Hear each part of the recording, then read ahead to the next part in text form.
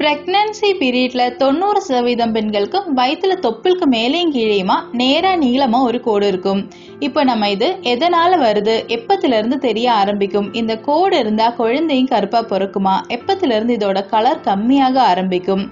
இந்த கோடை வச்சு நம்ம வயிற்றுல இருக்கிறது ஆண் குழந்தையா பெண் குழந்தையான்னு தெரிஞ்சுக்க முடியுமா? இதை பற்றியெல்லாம் இன்னைக்கு நம்ம இந்த வீடியோல பார்க்கலாம். வீடியோ ஸ்கிப் பண்ணாம கடைசி வரைக்கும் பாருங்க. கண்டிப்பா இது உங்களுக்கு யூஸ்ஃபுல்லாக இருக்கும்.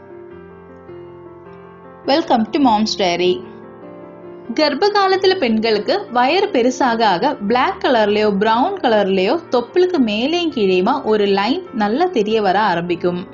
லீனியா நயாகிரான்னு கூறப்படுகிற இந்த லாட்டின் வேர்டோட அர்த்தமே பிளாக் லைன் தான். நார்மலா பிரெக்னன்சி பீரியடுக்கு முன்னாடி எல்லாருக்குமே இந்த கோடு வயர்ல இருக்கும். ஆனா இது ஸ்கின் கலர்ல இருக்கிறதுனால இப்படி ஒரு கோடு நம்ம உடம்புல இருக்கிறது அதிக பேருக்கு தெரிய வாய்ப்பில்லை. ஆனா கர்ப்ப காலத்துல இருக்கிற ஹார்மோனல் இன்பேலன்ஸ்னால முக்கியமா ஈஸ்ட்ரஜன் ப்ரொஜெஸ்ட்ரான் ஹார்மோன்ஸ் அதிகமா ப்ரொடியூஸ் ஆகும்போது மெலானின் லெவலும் அதிகமாக ஆரம்பிக்கும். நம்ம எல்லாருக்குமே தெரியும் நம்ம பாடியில அதிக அளவுல மெலானின் ப்ரொடியூஸ் ஆகிறது அதிகமா ஸ்கின் கருப்பாகிறதுக்கு காரணமாக இருக்கும்னு. அப்படி மெலானின் கண்டென்ட் அதிகமாகிறதுனால ஒயிட் கலர்லயோ ஸ்கின் கலர்லயோ இருந்த இந்த கோடும் பிளாக் கலருக்கோ பிரவுன் கலருக்கோ மாறி வயர்ல ஒரு கோடு மாதிரி தெரிய வருது. சிலருக்கு இது நல்ல டார்க் கலர்ல இருக்கலாம். ஆனா சிலருக்கு லைட்டாவும் இருக்கலாம். பிரெக்னன்சியோட நாலாவது மாதத்துல இருந்து தான் நார்மலா இந்த கோடு தெரிய ஆரம்பிக்கிறது. இது இருந்தாலும் இல்லாட்டியும் நீங்க பயப்பட வேண்டிய அவசியமே இல்ல.